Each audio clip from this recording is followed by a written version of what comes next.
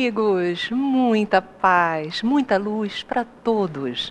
Nós estamos iniciando o programa O Espírita no Mundo, pela tvnovaluz.com, pela Rádio Rio de Janeiro, 1400 AM, pela Rede Amigo Espírita e pela Web Rádio Portal da Luz. Muito obrigada pelo seu carinho, pela sua audiência. Que Jesus possa abençoar mais esta produção do Clube de Arte e do Grupo Espírita Eurípides Barçanufo, o Recanto da Prece, porque essa é a nossa TV Nova Luz, iluminando o seu dia. O núcleo familiar vem passando por várias transformações. Essas mudanças são fruto das opções que fazemos, da cultura, da moral, dos modelos que surgem como referência para os jovens e para aqueles que buscam construir uma vida a dois. Seja qual for o modelo de relacionamento, os desafios são muitos. Somos espíritos aprendizes que ainda carregamos as nossas dificuldades morais e é na convivência que vamos colocar em prova a nossa capacidade de perdoar, de viver o amor incondicional, principalmente nas situações mais adversas. Mas que motivos nos levam à convivência conjugal? Na visão espírita, qual o principal objetivo da vida em família? Quais são os principais desafios para o relacionamento a dois na atualidade? Será que nós estamos preparados para dividir a nossa vida com alguém? Bom, estas são algumas das questões que nós iremos tratar agora, porque está no ar o Espírita no Mundo.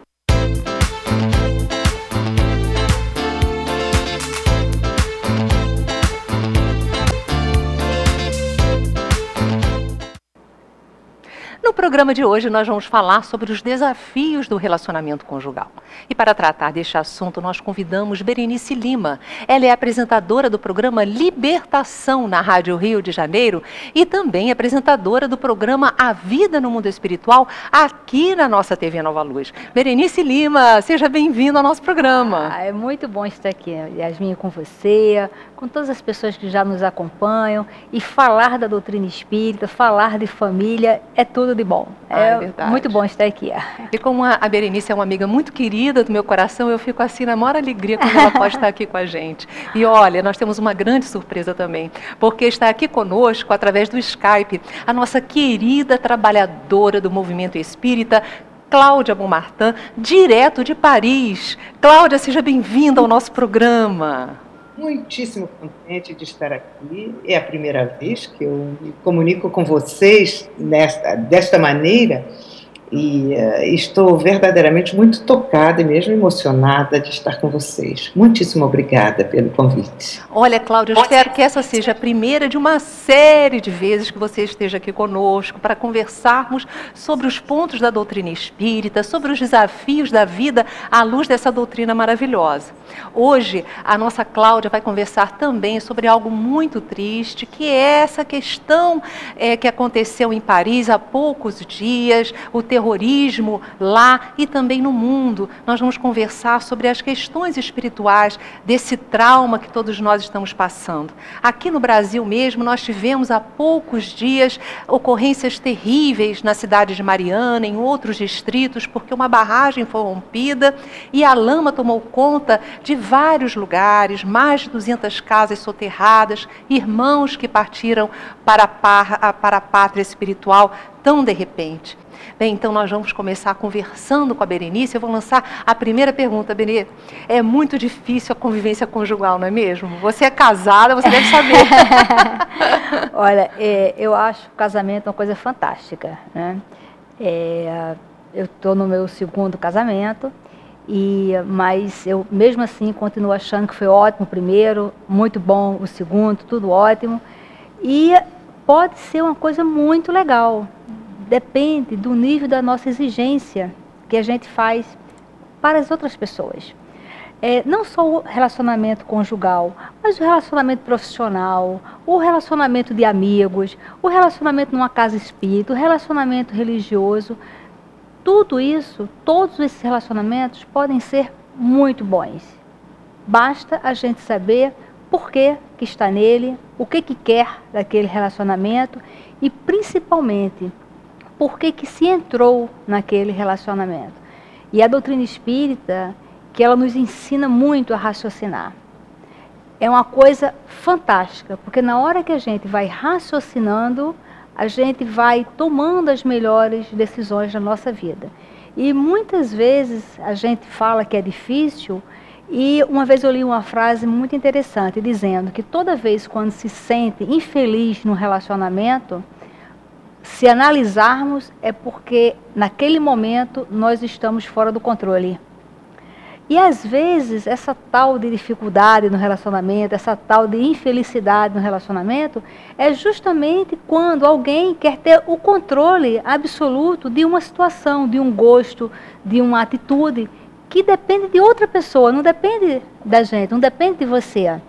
Então, quando a gente raciocina, que a doutrina espírita coloca a gente para raciocinar, olha, é, às vezes a pessoa fala assim: eu tenho um relacionamento muito difícil, no trabalho, seja lá onde for. Sim, mas por quê? Você consegue identificar aonde está a dificuldade? E muitas vezes a dificuldade, ela está relacionada a uma atitude, a algo exclusivamente de uma outra pessoa. Que nós não temos uma extensão, um poder de alterar aquilo daquela outra pessoa. E eu acho que quando você começa a entender isso e ver as suas possibilidades de agir eu acho que os relacionamentos começam a ficar melhores. Quando a gente simplesmente entende, olha, a fulano é assim, é, então não, não queira alterar aquela situação, porque ninguém altera nada. Então a sensação de dificuldade de relacionamento, a sensação de frustração, a sensação que o mundo está perdido, sempre é essa sensação quando as coisas não estão sendo feitas exatamente da maneira que eu gosto, da maneira que me agrada, da maneira que eu acho que tem que ser. Olha, Berenice, você já colocou um ponto muito interessante que eu vou até perguntar para a Cláudia, que é essa questão do controle que a gente deseja ter sobre as coisas. E quando as coisas não saem como a gente deseja, a gente fica meio chateado. Aí você mora há décadas aí na Europa, não é, Cláudia? Eu acho, acredito também, que o casamento, antes de ser um estado civil, é um estado de espírito.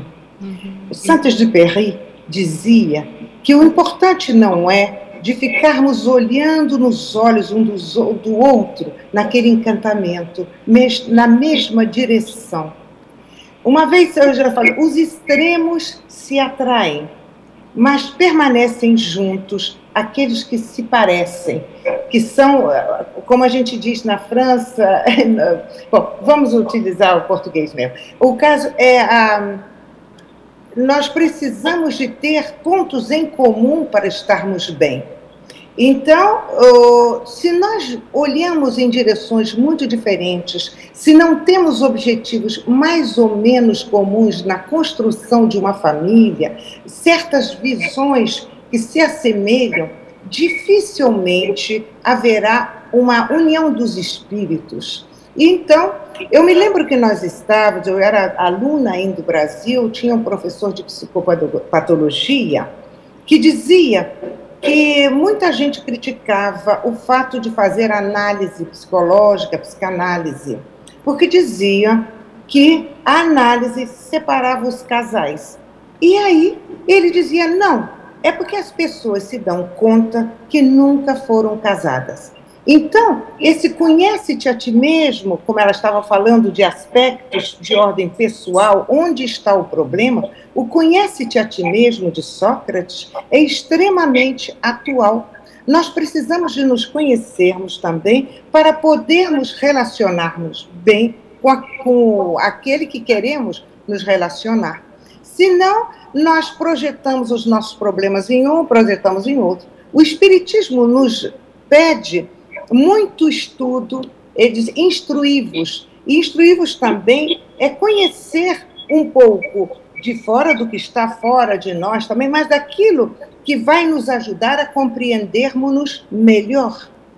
Então, eu acho que essa colocação de como sou eu no cotidiano, porque nós temos uma tendência a falar é o problema é do outro, mas nós não o escolhemos. Então, há alguma coisa em nós que não deve ir muito bem. Então, aonde nós estamos errando também? Nos colocarmos em questão e vermos qual foi o objetivo de, de estarmos juntos, qual foi a, a, em que direção olhávamos antes.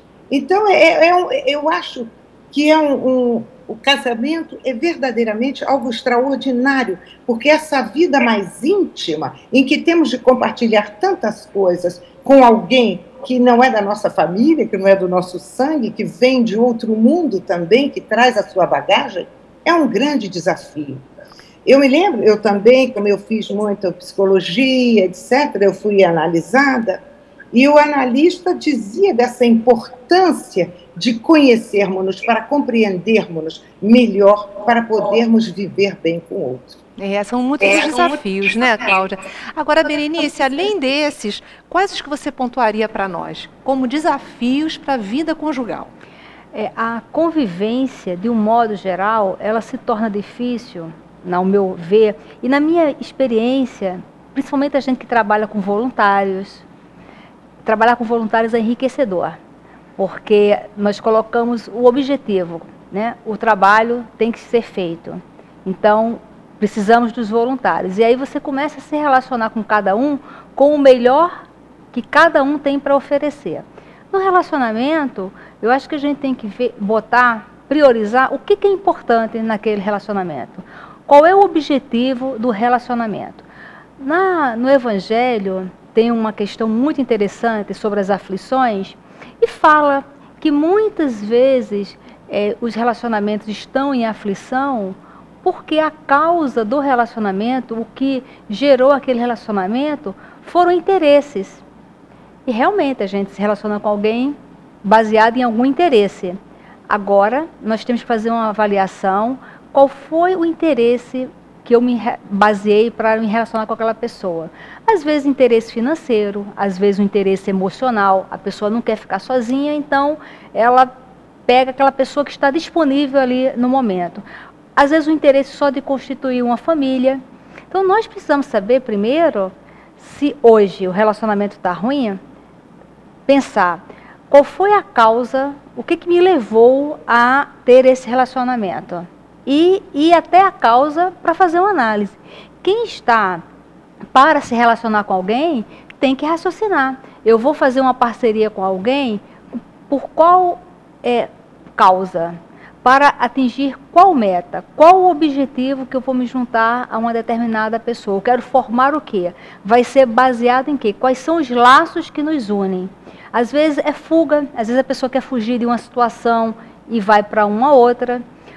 Primeiro, a gente tem que raciocinar. Eu acho que o que a doutrina espírita, nas suas questões filosóficas, no, na metodologia que o Kardec usa, de questionar, de perguntar, de ir buscar as respostas, eu acho que isso é a coisa mais importante, Yasmin. Então, saber quais são as bases do meu relacionamento agora. O que, e, porque muitas vezes o relacionamento está ruim agora, mas não foi sempre assim. Então, o que, que levou uma pessoa a ser atraída por outra? Foi as questões financeiras? Então, ela não se sustenta. Vai chegar um tempo que você se torna refém. Porque quando a gente se vende por alguma estabilidade, o preço é muito alto e às vezes a gente não consegue pagar. Quando nos tornamos refém apenas de umas, de, das questões emocionais também, então nós temos que saber, é a questão emocional e buscar ajuda também.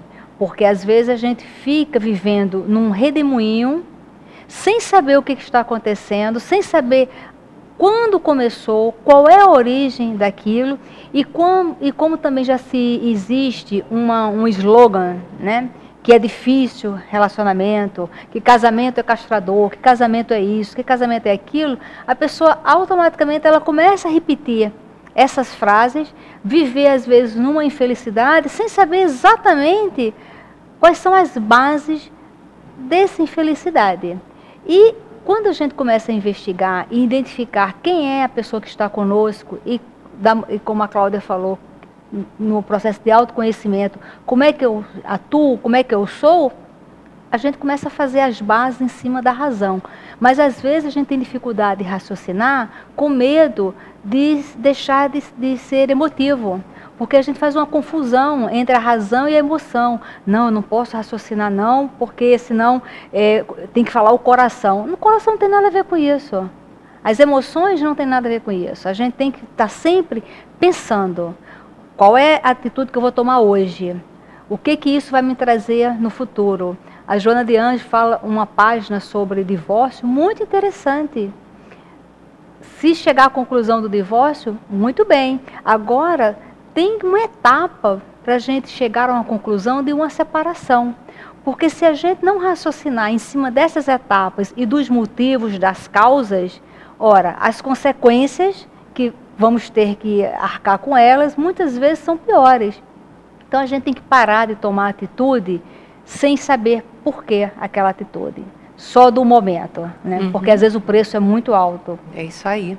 Cláudia, é, você poderia nos falar um pouco sobre as bases de um relacionamento bem-sucedido?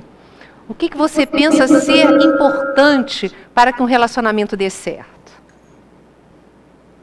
Eu, eu não sou uma grande especialista no assunto, estou de acordo completamente com o que ela diz. É, eu acredito, primeiro, o amor mas quis saber que tipo de amor nós estamos levando. Como ela disse, é, nós temos de saber por que estamos querendo estar com uma pessoa. O que é que essa pessoa me interessa? Por que, que ela me interessa? Então, se tem algum interesse financeiro, se tem algum interesse é, de amor mesmo, ou porque nós olhamos na mesma direção, temos pontos de vista comum, vemos a família da mesma maneira, temos vontade de ter filhos juntos, ou re realizar. Ah, coisas juntos, termos projetos juntos, isso é muito importante, porque às vezes nós andamos ao lado de alguém, estamos ao lado de alguém, somos pais, somos avós e somos completamente distantes, são vidas paralelas, não são vidas juntos. Então, o que eu acho, e volto ainda, é a mesma direção. Que direção queremos atingir? O, quais são os nossos valores? Aliás, é uma é algo que nós agora estamos em plena crise e já começamos há muito tempo isso, mas estamos em plena crise, a crise de valores no relacionamento, não só do casal, mas no relacionamento familiar, no relacionamento de nós com os outros, com os amigos, com a sociedade. Quais são os valores? Eu tenho muita vontade de fazer assim, é, provocar certos diálogos sobre que valores nós vamos abordar a partir de agora. Na televisão francesa, agora, nós temos muitos, muitos debates e onde se fala de valores. Porque é tudo um conjunto. Às vezes, um casal está com ideias, mas sofre tanta influência do meio em que ele vive que ele se desequilibra, que ele não dá valor ao importante. Então eu acho que é a sociedade, não é o, o casal é uma é uma é uma mola mestra, é o amor do casal que cria família é fundamental. Mas eu acho que há muitos outros valores a serem refletidos. Depois também como educamos os nossos filhos, o que transmitimos.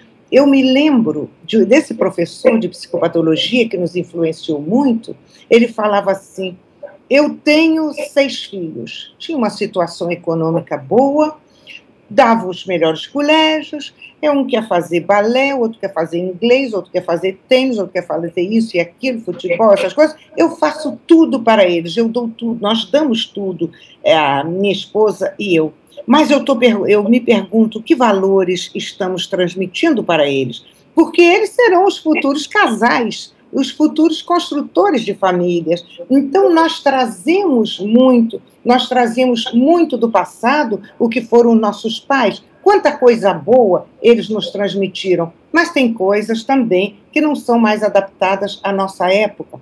Então, este eu adoro, eu gosto muito dessa dinâmica da vida em que estamos sempre nos colocando em questão. Estamos bem? Estamos certos? Fomos aqui, se a gente melhorasse aqui, como é que vamos né, nos relacionar melhor com aquele que está ao nosso lado em termos de numa vida de casal, como também com aqueles que convivem conosco continuamente, profissionalmente, os nossos filhos ou profissionalmente, na nossa vida espírita.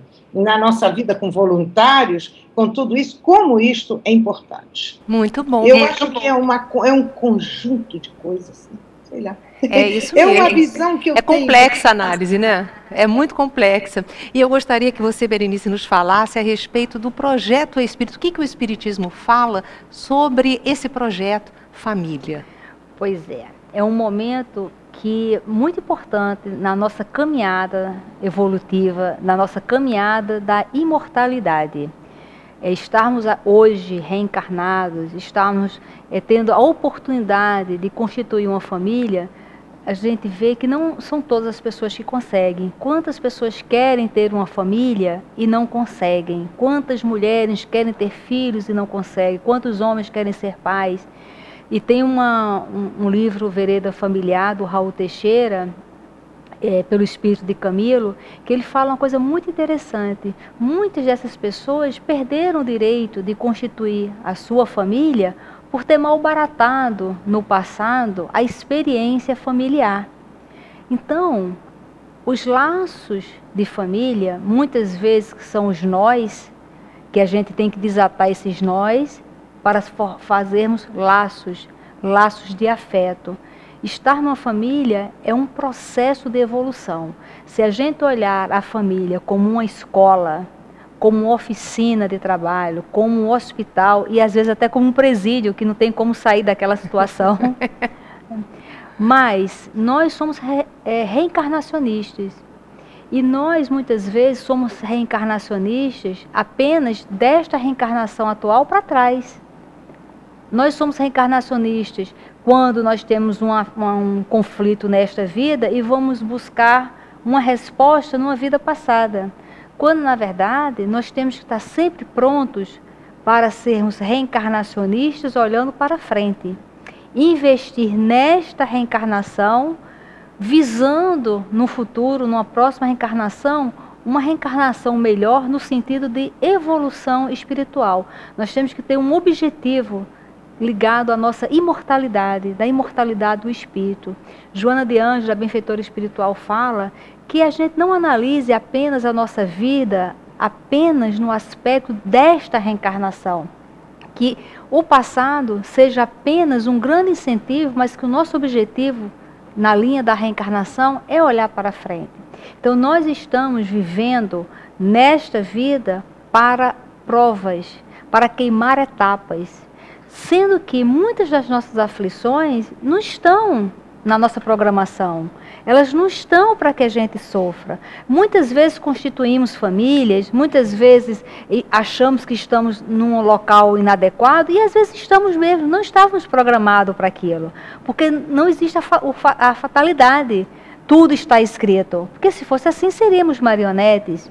Então, quantos casamentos acontecem, quantas famílias se constituem, que não era exatamente para ser daquela forma, mas pelo nosso livre-arbítrio, lá no momento que decidimos nos unir, decidimos formar famílias, não raciocinamos, fomos apenas pelo impulso do aqui e agora, e muitas vezes formamos e estamos em famílias completamente desestabilizadas, porque não era nem o objetivo, só que também a lei divina, ela vai aproveitando as uniões e aproveita também as reencarnações. Então, não necessariamente a reencarnação daquela família tem exatamente a ver com aquele propósito. Quando nós vamos estudando, quando nós vamos nos aprofundando, nós vamos percebendo essa questão. Eu tenho uma amiga que ela tem é, uma família muito grande e muitos problemas na família. Ninguém fala com ninguém. Os pais com os pais, com os filhos, é uma confusão danada. E um dia ela foi pedir uma orientação espiritual. Então, na primeira análise, a gente faz uma análise do quê? Nossa, deve ser uma família só de pessoas inimigas do passado que se reuniram de uma forma até expiatória mesmo para poder conviver e crescer. E aí ela foi pedir uma orientação espiritual e uma orientação foi muito interessante, dizendo que aquela família eram espíritos desconhecidos. Aquela dificuldade de se relacionar era porque ninguém se conhecia, era a primeira vez. O espírito até falou para ela: imagine se a partir de amanhã você for colocada no Japão para trabalhar lá. Assim, chega lá de improviso. Você não vai entender o que as pessoas estão falando, você não vai entender o costume, você vai levar muito tempo até você acalmar a aflição e começar a perceber quem são as pessoas que estão à sua volta para você começar um relacionamento.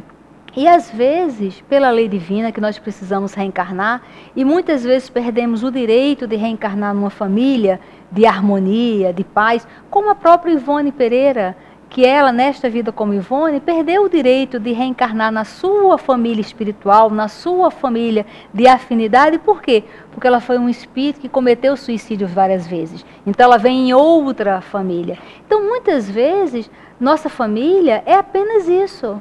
É um momento que, que nós também aproveitamos a oportunidade para reencarnar, porque reencarnar é a maior bênção.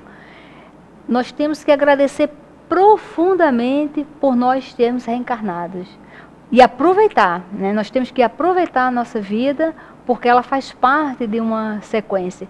Então, muitas vezes, dentro da família, existe um desespero de, de desorganização familiar e querendo justificar como coisas do passado, como muitas vezes aquela família desestruturada é porque pessoas não pensaram, não raciocinaram quando tomaram a decisão de se juntar com alguém, de ter filhos com alguém. Então, esse processo de namoro, noivado não existe mais, mas esse processo de relacionamento antes é para que a gente conheça outra pessoa. E a gente se questione, será que como é que eu vou educar os filhos com essa pessoa? Como é que vai ser isso? Eu tenho uma outra amiga que é a filha dela com estava com sete anos. E o pai, eles se separaram. O pai é de uma grossura, é uma pessoa assim, olha, mal-humorada, é uma coisa. E nós éramos todos amigos desde os 20 anos de idade. Né? Eles eram desde a infância. Eu, quando eu cheguei, e aí com 20 anos, gente, nós ficamos amigos. Mas essa pessoa era conhecida do grupo né, desde criança. E sempre teve um gênio muito difícil, era uma pessoa muito difícil. Então, a menina namorava com ele, todo mundo falava para ela, a família falava que o fulano era um, era, era um sujeito muito desagradável. Mas mesmo assim, ela namorou com ele, ela casou com ele, teve um filho com ele. E a filha reclamava muito porque o pai era muito grosso, enfim, se separou. E teve um dia que a gente estava conversando e ela falando mal do ex-marido e tal. Aí a filha dela tinha uns seis ou sete anos, virou para ela e falou assim: Mamãe, por que você não escolheu um outro pai para mim? Você não sabia que ele era daquele jeito? e aí foi um clima para reflexão. Porque nós temos que saber, quando nós vamos fazer sociedade com alguém, quem é esse alguém? É, Como é que é a maneira estamos, né? dele? Né? Exatamente. Aí no primeiro momento parece uma coisa assim, nossa, mas é muito frio raciocinar dessa maneira. Não é ser frio, é apenas raciocinar como a doutrina espírita explica para a gente. Porque se nós vivemos é, submetidos a uma lei de causa e efeito, de ação e reação o tempo inteiro, então toda a nossa ação tem que ser pensada, tem que ser raciocinada. As nossas opções precisam ser raciocinadas, né? Gente, eu queria conversar algo com a, com a nossa Cláudia. Cláudia, nos fale sobre o movimento espírita aí na França. E nós estamos, eu estou muito esperançosa porque tivemos um momento difícil esses últimos anos, mas é coisa, são as etapas naturais de um renascimento, porque o Espiritismo renasceu aqui na França, ele não teve a continuidade que nós tivemos no Brasil. Mas atualmente nós temos um presidente, Richard Buono, Buono que é, está sendo um homem de muito diálogo, de muita escuta, de muito entusiasmo, de muito ideal, de muito extremamente cristão, porque nós dizemos que o, que o francês não é cristão, não é, não tem esse aspecto religioso que nós temos. É falso, é falso. É de uma maneira diferente, mas nele está se mostrando de uma maneira muito interessante. Então eu estou com muita esperança, muita esperança, muito encontro, encontro semanal do, do, é, para discussões, às vezes por desta maneira, por Skype. Nós temos agora, vamos ter um encontro importante no dia 5 de dezembro, no norte da França, do Conselho Espírita Francês, que é a nossa federação, para discutirmos o estatuto, o novo estatuto. E tudo isso é com muita conversa, com muita reflexão mútua, escutando todas as pessoas. Então, isso eu acho muito positivo, porque o francês tem sempre, não gosta de ser comandado. Ele tem, se um diz A, o outro pode dizer B, o outro pode dizer C, pode dizer, e depois é que a gente chega a uma conclusão daquilo tudo. É um estilo, é tradicional, é cultural. E cada um gosta de dar a sua participação, a sua ideia no assunto. Então, eu estou muito esperançosa, verdadeiramente bastante esperançosa. Ele esteve aqui no Rio, teve no Rio, teve em Belo Horizonte, gostou muito, vai voltar ano que vem ao Brasil, está, porque ele, ele diz que tem muito que aprender também, mas acha que o espiritismo na França não pode ser idêntico ao do Brasil em muita coisa pelo próprio aspecto cultural de cada povo. Mas aprecia muitíssimo e acho que temos de pegar muita coisa de lá para adaptarmos aqui a nossa realidade. Muito Eu estou bem. muito esperançosa. Olha hum. só, nós temos uma participação dos Estados Unidos. Ela diz assim: Bom dia, meu nome é Vera, moro nos Estados Unidos. Recentemente conheci vocês e estou encantada com todos, especialmente com Yasmin, Berenice e doutora Luzia. Durmo ouvindo as suas palestras. Obrigada. Ô, oh, minha querida, ó, um beijo no seu coração, Vera. Muito obrigada pelo seu carinho. Viu onde a gente está chegando, Berê? levando sempre a doutrina espírita, porque consola, esclarece. A doutrina espírita, ela é um manual, ela é um roteiro de bem viver, de bem viver eternamente, não só agora reencarnado, mas o bem viver quando morrermos no mundo espiritual, na próxima reencarnação. E, e essa metodologia da doutrina espírita, baseada na, na razão, não na fé cega, né? nada cego dá certo, né? mas nessa questão da razão, da questão de, de, do pensamento mesmo, de você sempre estar pensando, raciocinando com começo, meio e fim, dentro dessas bases que a doutrina espírita dá, eu acho que isso nos liberta, isso nos ajuda muito a viver conosco, a viver com o outro, a gente saber quem nós somos, quem o outro é, e aí sim fazer as suas concessões, fazer as suas negociações, que tudo na vida é uma negociação. Então, quando a gente sabe quem. Porque às vezes é difícil sabermos quem somos, porque nós não fomos criados para isso, nós não fomos educados para isso. A nossa educação eu não sei, lá na França, a Cláudia pode até falar um pouco sobre isso, mas nós educamos as nossas crianças, os nossos filhos, para serem reis e rainhas. E que todo o resto, o mundo existe para servi-lo. Às vezes você vê a criança lá no abrigo, né? São 185 crianças que a, ah, nós lidamos, eu administro esse abrigo. É, outro dia, já até já contei aqui, uma criança estava brincando debaixo da mesa e ela saiu debaixo da mesa, ela tinha dois aninhos, bateu com a cabeça, ela levantou, começou a chorar, aí a funcionária veio e falou, mesa feia, mesa boba, e começou a bater na, na mesa, fez dodói na neném. Aí eu parei, aí a Carol, a pequenininha, estava chorando com a mão na cabeça. Aí eu olhei para ela e falei assim: Ah, Carol, a mesa não é boba, não, nem, nem a mesa é feia. A mesa é onde você estuda, faz seus é, você brinca, você desenha, você come, entendeu? Pode se brincar debaixo da mesa, Carol? Aí ela com a mãozinha aqui, ela falou: Não. Eu falei: Pode sim. Claro que você pode brincar debaixo da mesa. Agora, quando você for levantar, você tem que olhar para saber se você ainda está debaixo da mesa. Porque se você está se machucando, porque você entrou e você antes de sair não olhou. Entendeu, Carol? A mesa não tem nada a ver com isso. Muito bom. Porque aí você vai colocando, olha, isso é uma decisão sua, foi você que quis dessa forma. E nós vamos criando as crianças e, e, todo mundo, sempre assim, quando chora, quando se frustra, a gente sempre dá um jeitinho para dizer que o problema é da mesa, que o problema é do coleguinha, que o problema é isso, é aquilo. Então nós não temos o hábito de levar as crianças a raciocinar. E se a gente fizer isso, elas serão adultos mais saudáveis, porque eles vão aprender a sempre estar submetidos à lei de causa e efeito.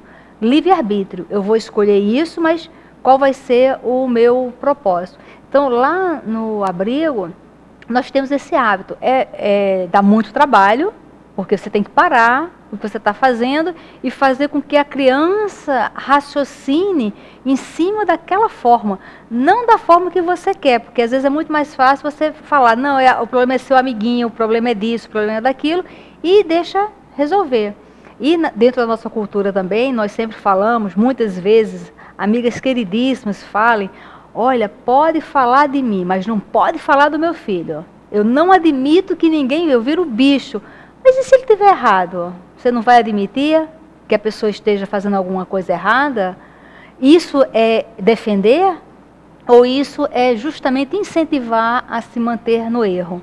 Então, quando eu tenho algumas pessoas que têm essa filosofia de aquela de defender a sua família, que ninguém pode falar mal, que ninguém pode falar nada, eu sempre recomendo o livro Sexo e Obsessão, que fala justamente a mãe do Marquês de Sade, que hoje ela é um espírito bastante evoluído, e ela dá o depoimento dela nesse livro, dizendo que se naquela época ela não tivesse feito isso, defendido sempre o filho dela, talvez ele estivesse errado menos e tantas pessoas poderiam ter sofrido menos, né?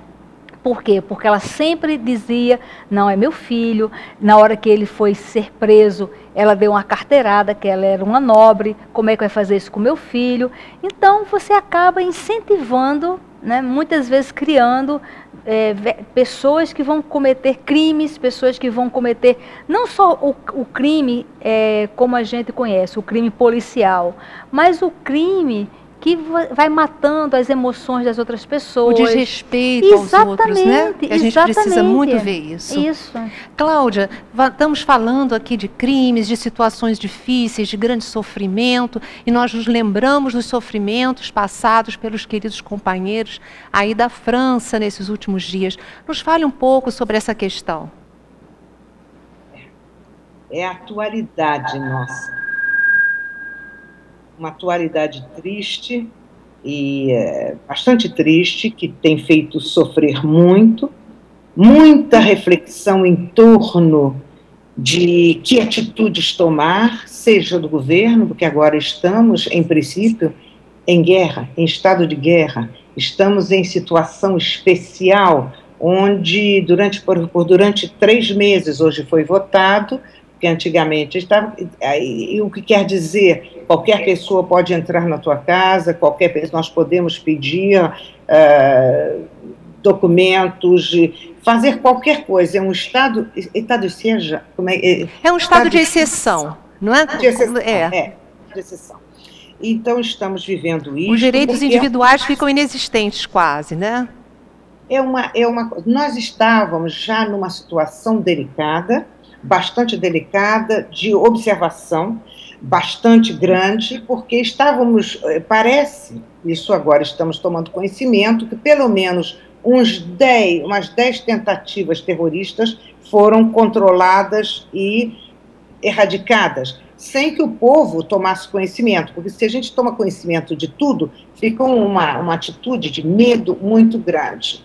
Então, esta do dia de, de sexta-feira, agora 13 de novembro, foi mesmo se esperava, todo mundo, quer dizer, a gente, o, o povo francês, e principalmente o pessoal do governo, o pessoal da, da polícia, essas coisas do, do serviço de inteligência, né, dessas coisas, sabiam que isto podia, alguma coisa grave podia acontecer. Não pensávamos tanto, mas sabíamos, eles sabiam, então, é, por qualquer coisa, é você todo revistado para entrar numa, num simples comissariado de polícia. Outro dia eu precisei de entrar por uma coisa boba, eu fui é, revistada com um polícia com uma, com uma espingarda.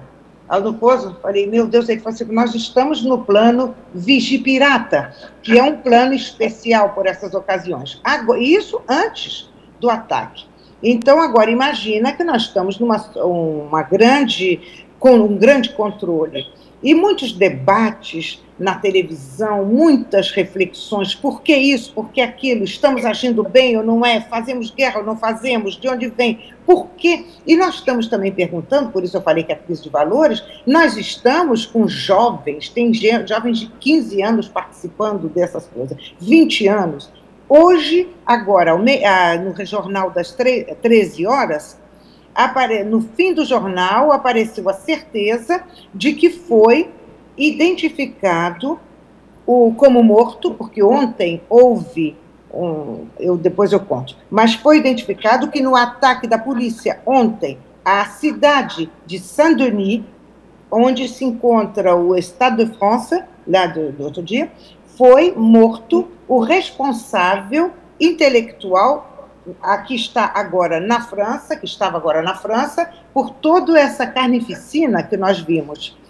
E aconteceu que jogaram um, um, telefone celular dentro de uma caixa de lixo, perto do Bataclan, que era a boate, quer dizer, o lugar de, de show, e descobriram que essa, esse, esse, esse celular tinha uma mensagem dizendo: vamos começar agora, uma coisa mais ou menos assim. Estamos prontos, vamos começar agora. E ali uniram e identificaram que veio de um apartamento, endereço, rua, número eles foram às quatro e meia da manhã, foi uma, um tiroteio enorme, houve uma moça que se explodiu e houve um tiroteio muito grande. Nesse tiroteio, a polícia matou, vai, quer dizer, matou uma pessoa e que foi identificada como o responsável. 28 anos, esse rapaz. Nasceu na Bélgica, mas muito ligado com a Bélgica e a França. Então, agora estamos falando também de todo o processo que vai ter a França e a Europa de reforçar as fronteiras, os controles. Como é que um homem desse pode entrar sem ser percebido, entrar e sair, que ele esteve na Síria? Então, estamos vivendo toda uma época de grandes questionamentos, tanto da maneira de agir, como também da necessidade dos partidos políticos se unirem porque é a França. Agora, não é uma tendência por um, de um lado, ou de esquerda, de direita, de centro, de ecologista, ou que seja, ou de extrema direita ou extrema esquerda. É agora é a França que, em princípio, todos amamos, todos eles amam. Há muita reflexão sobre esse assunto, muito. Está muito importante isto.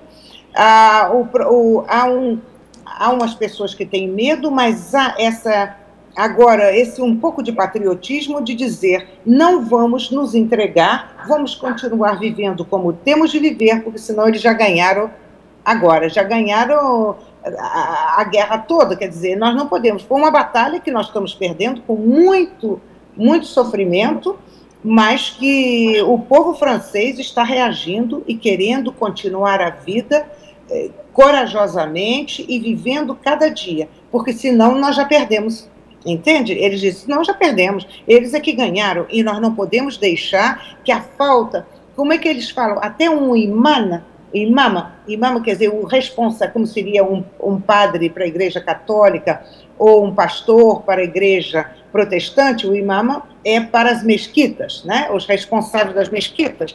Eles, é, e, e até, é, vem disso, é, é, é o obscurantismo. O presidente da, da Tunísia veio dizer é a luta da luz contra o obscurantismo. Isto nunca foi islamismo, isso nunca não é o comportamento de um verdadeiro muçulmano, porque não está em nenhum local, em nenhuma letra do muçulmano, uma coisa dessa, do, dentro do Corão ao Corão que, que, que, que, que empurre a, a violência. E se às vezes alguma frase como outro dia um rapaz extraordinário, um imama muçulmano também formidável, ele dizia, se uma, eles pegam uma frase fora do contexto e não colocam o contexto E quando a gente está falando de umas certas coisas no século, no, sete, no sétimo século, não corresponde ao, ao século XXI e temos de considerar o contexto. Então está tendo muita reflexão como deve ser o, o islamismo na França.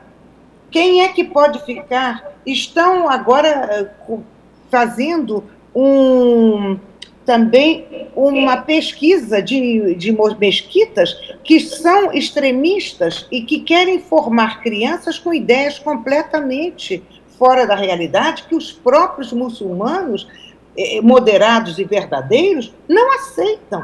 E são eles os primeiros, que a gente vai ver, eles são os primeiros. Ah, as primeiras vítimas, e depois começa tudo na França, do, Ih, tô com medo de muçulmano, tô com medo disso, tô com medo daquilo, entendendo? E nós estamos vivendo um momento importantíssimo, eu acho.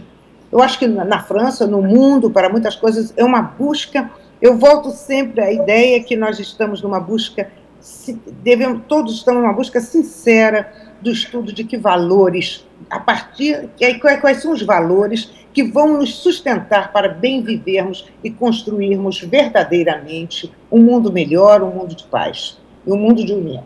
Porque essa busca, eu tenho visto a busca e o encontro de várias religiões. Estão certas, os, estão todos os, os responsáveis religiosos de várias religiões estão conversando juntos, estão conversando, estão trocando ideias para dizer não podemos viver dessa maneira, nós temos de nos unirmos. E está sendo muito bonito, eu acho. Eu acho que é, uma, é, um, é um período difícil, mas muito desafiador, com possibilidades muito bonitas para o futuro, eu acho. Eu Cláudia. sou otimista, realista. Mas eu, eu, nós concordamos com você. Nós sabemos que apesar de tanto sacrifício, de tanta dor, as coisas vão se encaminhar sob as bênçãos de Deus para uma união entre todos. Essas reflexões certamente terão resultados maravilhosos. Eu agradeço muito a sua participação no nosso programa. Esperamos tê-la várias vezes aqui conosco. Eu parabenizo você porque eu conheço o seu trabalho de décadas de dedicação ao movimento espírita. Você é uma referência muito grata para todos nós. Um beijo no seu coração, Cláudia. No coração de vocês também. Muito obrigada, querida. Nós já estamos a poucos minutos do término do nosso programa, passa muito rápido e eu gostaria muito de terminarmos com uma oração envolvendo os companheiros da França, do mundo inteiro, os companheiros de Mariana, de todos os distritos também que sofreram tanto com a quebra da barragem. E eu gostaria das suas palavras finais antes. É isso aí, é, partindo de dentro de casa, de cada núcleo de família, a partir de hoje, como a Cláudia bem colocou, de ver quais são os valores que nós estamos passando para as crianças, quais são os nossos valores de dentro de casa, porque, como diz a música, a paz no mundo começa em mim. Então, se cada núcleo familiar, se cada uma pessoa apenas de um núcleo familiar fizer o seu movimento pela paz, só que o movimento é individual, não é querer que o outro faça a paz, mas se cada um de nós, dentro da nossa casa, estabelecer ser um núcleo de paz, a paz do mundo começa em mim, em você, em você, em todos nós, e aí sim o mundo será um mundo melhor. Muito obrigada, Berê, pela sua participação aqui no nosso programa. É uma alegria. E eu gostaria de falar com vocês que às 9 horas da manhã, aqui do Brasil, nós estamos sempre orando e fazendo uma visualização terapêutica pela paz no nosso coração e pela paz no mundo. Então eu convido você a participar, porque somos uma corrente do bem, criando energias próprias através das quais a espiritualidade superior vai atuar no nosso mundo, em cada mente e em cada coração. Vamos então comigo unir as nossas mentes, unirmos-nos em oração. Jesus, bom e amado Mestre, que sois o caminho, a verdade e a vida, nós aqui nos encontramos e somos milhares acompanhando esse momento no Brasil e no mundo, rogando que o vosso amor, Senhor, se estenda sobre toda a terra tocando cada coração, desfazendo as trevas da ignorância, da maldade e do erro. Deita, Senhor Jesus, o teu olhar de amor e de carinho sobre os corações Dissipa, Senhor, as nuvens da crueldade, que o teu reino de amor, de paz, de esperança surja diante de tanto sacrifício, mas que haja finalmente a paz, o amor, o apoio, os cuidados em todas as nações, que possamos nos dar as mãos como filhos de Deus, nos auxiliando mutuamente e caminhando juntos ao teu encontro. Obrigada, Senhor, sem cada coração, agora e sempre.